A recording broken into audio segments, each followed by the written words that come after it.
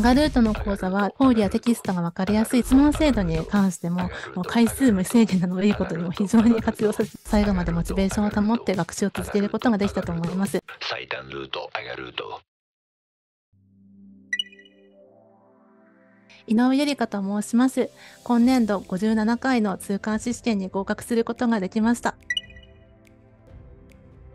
私は大学で英語を専攻していたことから、英語を使えて、かつ専門知識を身につけられるような働き方を希望しておりました。そのため、去年から貿易実務の勉強を始めて、まずは貿易実務検定追級の学習から始めた後、次に B 級の勉強を開始し、その後の目標として影響を受けるか、それとも通関士を受けるかどうしようかなと思っていたんですけれども、日程が重なっていたため、まあ、より知名度も高そうで、で貿易業界唯一の国家国家資格であると思いましたので、通関士試験の受験を決めました。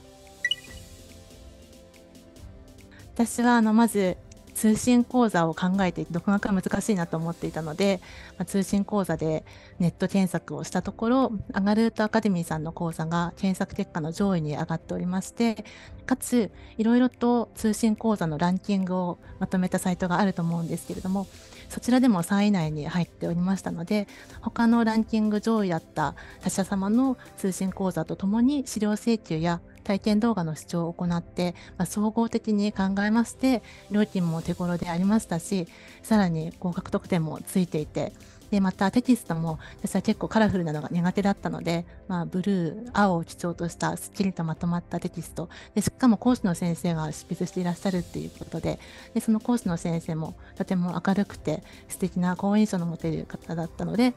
アガルートアカデミーに決めましたというのもありますし、また、の回数無制限で、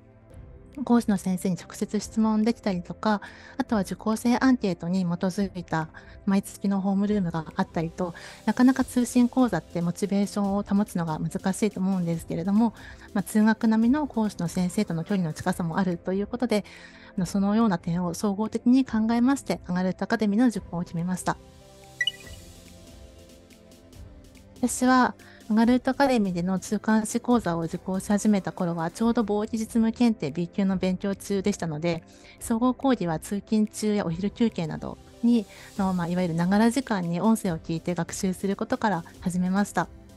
で最初は1倍速から始めまして、で、その後、まあ、2週、3週目ぐらいは1.5倍速でずっと聞いておりました。で、貿易実務検定が終わった後は机に座って勉強を始めまして、テキストを開いて動画を視聴しながらチェック問題や総末問題を解いておりました。でその後に、まあ、テキストで調べながら過去問題集に取り組んで過去問題集を2周した時点で、まあ、結構あの知識がまだ漏れてるところがあるなっていうふうに感じたのでテキストに戻りましてでただテキストを読んでいるだけだとなかなか頭に入りにくいなと感じましたので市販の空欄補充問題集を購入してであのテキストを読み読んでで問題を解くという形でテキストを読み返しておりました。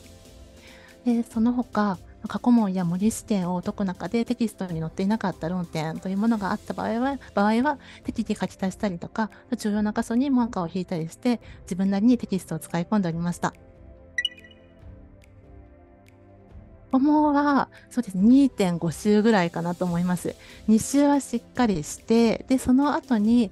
特に直前期に関しましては、模試の復習がメインになりがちだったので、最後の1週間もしくは2週間前ぐらいの間は、やはり過去問にしっかり戻ろうと思って、特に苦手な問題とか間違えた問題というものを重点的に解くようにしておりました。このホームルームアンケートっていうものがあの毎月あったと思うんですけれども、まあ、そちらは多分10回ぐらいあったと思うんですけど、毎月欠かさず出しておりまして、で、質問項目の中に、今の進捗状況を教えてくださいっていうものがあったと思うんですけれども、でそのギリギリ多分毎月4日とか締め切りで、そのギリギリまで勉強して、なるべく進めましたよっていう報告ができるようにと思っていて、それがあのペースとか、あとはモチベーションの維持にすごく役立っておりました。でまた質問制度に関しても、回数無制限なのをいいことにも非常に活用させていただいておりまして、まあ、直前期はもちろんですし、あのその他の私11ヶ月ぐらいずっと勉強していて、長かったんですけれども疑問に思ったこととかももう何度も聞いたりとかあとはそうですね、勉強法とかも中にはちょっとそれちゃったかもしれないんですけど、電卓の選び方みたいなものとかも結構相談させていただいたこともあって、非常にあのモチベーション維持でも、維持の上でも、疑問点を解決する上でもお世話になりました。試験前の2ヶ月はテキストや過去問の復習に加えて模擬試験や受験のためのまとめノートの作成を行っておりました。まとめノートは A5サイズのノートに間違えたポイントとか、なかなか覚えられないこととか重要だと思うことなどのほか、時間配分だとか、あとこんなものを持っていくといいとか、そういう思いついたこともたくさん書いていました。で、その他、ホームルームアンケートでリクエストをして、講師の加藤先生の受験生時代のまとめノートも見せていただくことができたのですが、そちらもとても勉強になりました。とてもほっとしました。自分の番号がなかったらどうしようってずっと思っていて、もちろん、あの、いろいろな他社様とかで、合格発表の前にいろいろな回答、解説とかも出していらっしゃると思うんですけれども、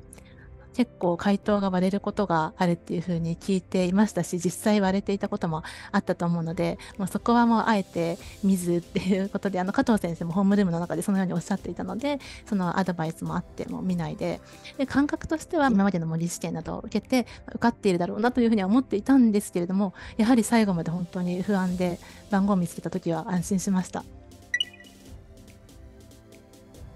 今、お仕事探し中なので、通関試験や貿易実務検定で学んだ知識を活かせるお仕事があれば、もう応募したいなと思っておりますし、また試験勉強中にいろいろな方の学習ブログや合格体験記を読んで、ヒントを得たり、勇気をもらったりしておりましたので、私自身も通関試験の勉強をされている方々に対して、まあ、ブログなどを通じて何か情報を発信していけたらと思っております。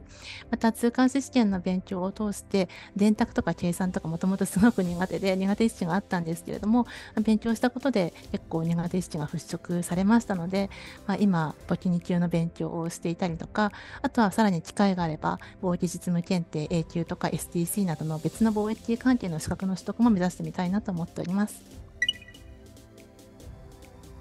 アガルートの講座は、講義やテキストが分かりやすいだけでなく、受講生アンケートをもとにしたホームルームや講師の先生に直接質問できる制度があったので、私でも最後までモチベーションを保って学習を続けることができたと思います。これから通関試験を受験される皆様のことを心より応援しております。動画のご視聴ありがとうございます。アガルートでは受講相談無料体験を受付中。詳しくは概要欄をチェック。